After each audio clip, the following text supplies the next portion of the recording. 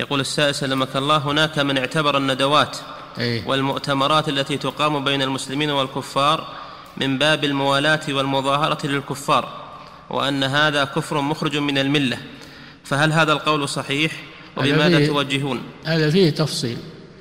إن كان القصد أننا نرضيهم أننا نرضيهم ونتصالح معهم على وإن ديننا صحيح ودينهم صحيح ولا أحد يخطي على أحد هذا كفر بلا شك.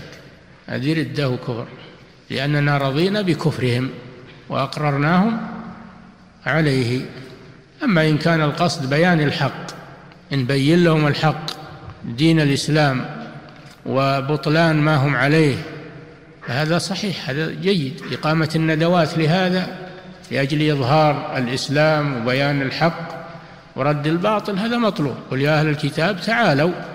إلى كلمة سواء بيننا وبينكم.